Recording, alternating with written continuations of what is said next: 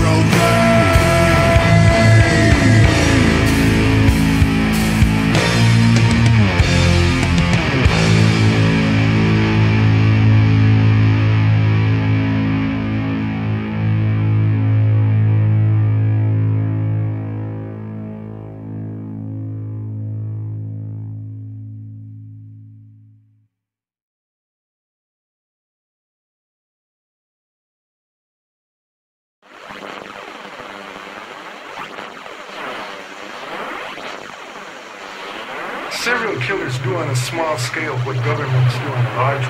They are a product of the times, and these are bloodthirsty times. I'll tell you what, I gave up on love and happiness a long time ago. This nation, this country is founded in violence. Violent delights tend to have violent ends. It's madness is something rare in individuals, but in groups, people, and ages, it is a rule. Killing is killing, whether done for duty, profit, or fun. Men murdered themselves into this democracy. I can tell you a little bit about Satanism. It is undefiled wisdom instead of hypocritical self-deceit. It is power, power without charity. The Satanist admits to being evil. Evil has always existed. Yes, I am evil. We are all evil.